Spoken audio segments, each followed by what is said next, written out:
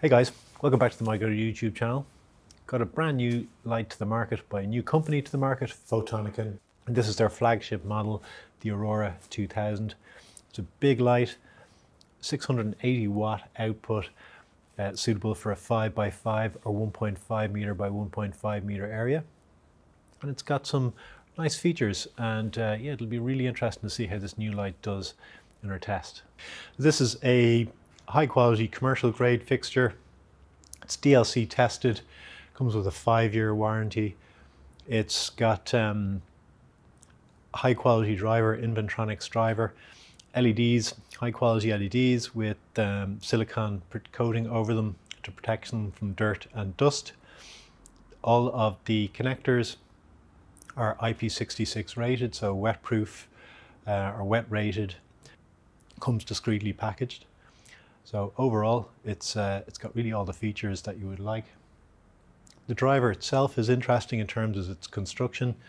It's got these sort of end pieces which have carry handles, but also these spring clips to, um, to fit it onto the back of the LED bars. And of course, it's got onboard dimming.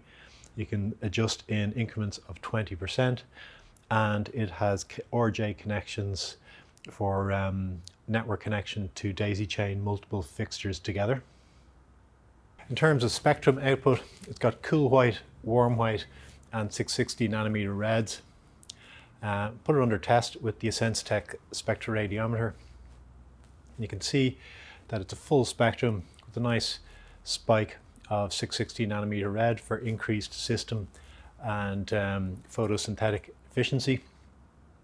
Overall, color temperature is 3600 K, which is mid color temperature, means you got lots of blue for veg growing, keep the, uh, it'll keep the growth short and dense, but also has, as I said, nice uh, proportion of red output for that high system efficiency.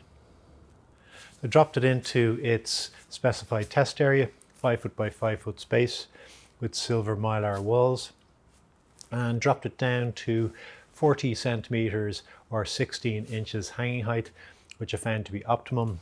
That is, got a center measurement which was in around a thousand micromoles. I think it reached about 1100, and um, but still getting a decent amount of spread over to the edges. I then took 100 uh, measurements, power measurements, with the spot-on power sensor in uh, a row of 10 and a column of 10. And this gives a view of the total power output onto the simulated plant canopy. Overall, the average power was 730 micromoles per meter square per second, which is a good level for good high performance in flowering.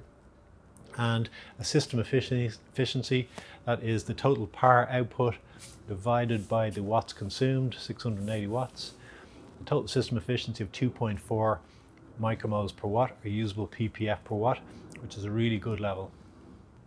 Overall, it's a really high quality, high performance fixture. Nice features and finish on the driver in particular.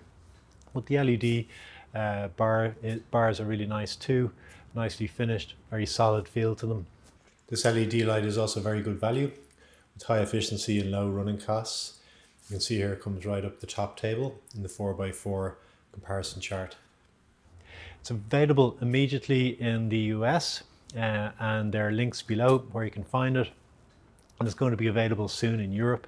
We'll update the description when that is available. And uh, yeah, I'm very happy to recommend this light. If there's anything else you'd like to know, any questions or queries about this test, please leave them down below in the comment section. I'll get back to you as soon as possible. Take care.